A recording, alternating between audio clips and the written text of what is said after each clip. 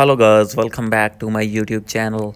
So guys in this video i'm going to show you how to fix iphone apps waiting not downloading after reset so guys if you're using any ios device and when you have reset your device and after resetting when you want to download any app in your iphone and that app not downloading in your phone and stuck on waiting. So guys easily you can fix this problem. So let's start without wasting any time. So guys first of all you have to check your internet connection. So guys if you have connected any internet connection simply you have to disconnect that internet and connect it again. And guys after doing this if you're using mobile data simply you have to turn it off and turn it on again on your iphone. And guys after this you need to check that your problem has been fixed or not and guys the second method is you have to check for update on your iphone. So guys if your iphone is not updated then guys these types of problems will be occurred commonly. So guys simply you have to check for update and guys you have to update your iphone to latest ios version. And guys after doing updates all the features will be fixed that you are facing issue any issue in this version.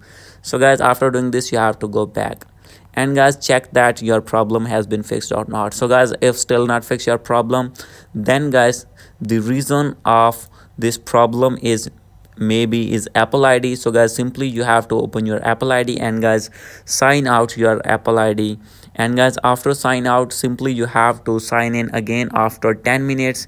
And guys if still not fix your problem simply you have to change your apple id and guys you need to log in another apple id on your iphone. And guys after login another apple id on your iphone then guys your problem will be fixed. So guys after doing this if still not fix your problem simply you have to click on your apple support app.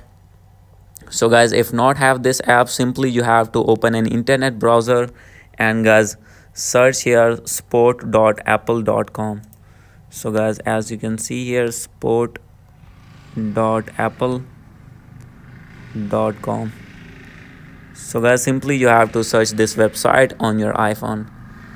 And guys after this you have to wait for some seconds. And guys here here you need to select iphone after selecting it you need to scroll it down.